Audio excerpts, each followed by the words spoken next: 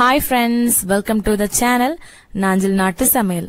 நம்ம சேனல் இது வரைக்கும் சப்ஸ்கிரைப் பண்ணாதவங்க சப்ஸ்கிரைப் பட்டன் அழுத்தி பக்கத்தில் உள்ள பெல் ஐக்கானை கிளிக் பண்ணிக்கோங்க. அப்பதான் நான் அப்லோட் பண்ண வீடியோஸ் உங்களுக்கு நோட்டிபிகேஷனா வரும். வெஜ் கட்லட் எப்படி செய்யறதுன்னு வாங்க பார்க்கலாம். மீடியம் சைஸ்ல ஒரு பெரிய வெங்காயம் எடுத்துக்கோங்க. ரெண்டு கேரட் நாலுல இருந்து அஞ்சு பீன்ஸ் கொஞ்சமா கொத்தமல்லி இலை. இந்த மாதிரி சின்ன சின்னதாக கட் பண்ணி எடுத்துக்கோங்க. மீடியம் சைஸில் ரெண்டு உருளைக்கிழங்க வேக வச்சு மசிச்சு எடுத்து வச்சுக்கோங்க. கடாயில் ஒரு டேபிள் ஸ்பூன் எண்ணெய் ஆட் பண்ணிக்கோங்க. எண்ணெய் சூடானதும் ஒரு ஸ்பூன் இஞ்சி பூண்டு பேஸ்ட் இந்த மாதிரி நல்லா வதக்கிக்கோங்க. இஞ்சி பூண்டு பேஸ்ட் நல்லா வதங்கினதுக்கு அப்புறமா நம்ம கட் பண்ணி வச்சிருந்த வெங்காயத்தை ஆட் பண்ணிடலாம்.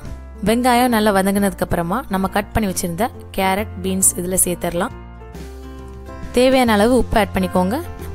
கால் கப் தண்ணி ஆட் பண்ணிக்கோங்க. ரொம்ப தண்ணி ஆட் பண்ண வேண்டாம். மூடி வச்சு ஒரு அஞ்சு நிமிஷம் சிம்மில் வச்சு வேக வச்சுக்கோங்க. பாருங்கள் நல்லா வெந்துருச்சு. தண்ணி எதுவுமே இல்லை. ஸோ இந்த ஸ்டேஜில் நம்ம மசிச்சு வச்ச உருளைக்கிழங்கு இதில் சேர்த்துடலாம். கட் பண்ணி வச்சுருந்த கொத்தமல்லி இலையை சேர்த்து நல்லா மிக்ஸ் பண்ணிடுங்க இப்போ ஒரு மத்து இல்லைன்னா ஸ்பூன் வச்சு இந்த மாதிரி நல்லா மசிச்சு விட்டுருங்க. பாருங்கள் இந்த மாதிரி நல்லா கெட்டியாக இருக்கணும்.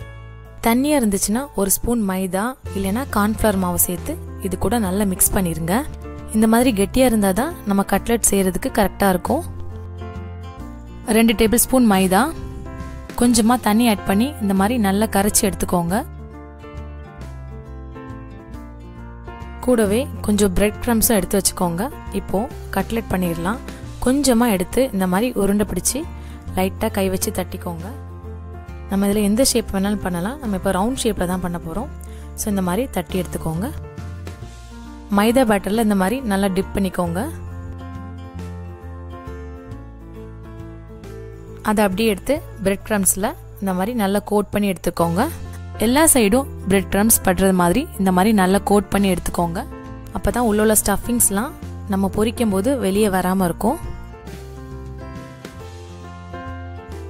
இந்த மாதிரி ரெடி பண்ணி வச்சுக்கோங்க. பத்து நிமிஷம் அப்படியே இருக்கட்டும். அதுக்கப்புறம் நம்ம வந்து ஃப்ரை பண்ணிடலாம். எண்ணெய் மிதமான சூட்டில் இருக்க மாதிரி பார்த்துக்கோங்க. இப்போ ஒன் பை ஒன் ஆட் பண்ணி ஃப்ரை பண்ணிடலாம் காய்கறிலாம் நம்ம வந்து வேக வச்சு தான் அதில் ஆட் பண்ணியிருக்கோம் மேலே உள்ள லேயர் வந்து கலர் மாறணும்.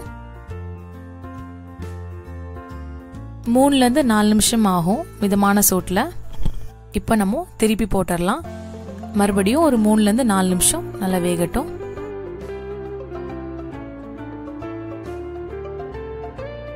இப்போ நம்ம எடுத்துடலாம். சூப்பரான சுவையான வெஜ் கட்லெட் ரெடி. கண்டிப்பாக அந்த ரெசிபியை உங்கள் வீட்டில் ட்ரை பண்ணி பாருங்கள்